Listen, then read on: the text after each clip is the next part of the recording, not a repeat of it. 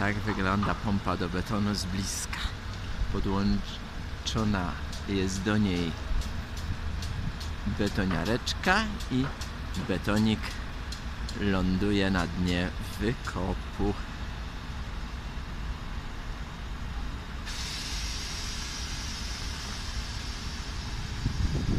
A na fragmencie fundamentu już są, już jest ułożone zbrojenie.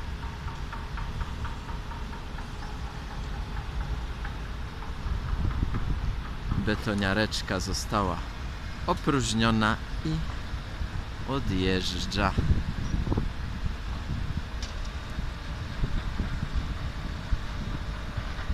A zbrojenie jest przygotowywane na zorganizowanym tam warsztaciku. Tam jest magazynowane zbrojenie i za pomocą dźwigu jest transportowane na miejsce, gdzie zostanie ułożone.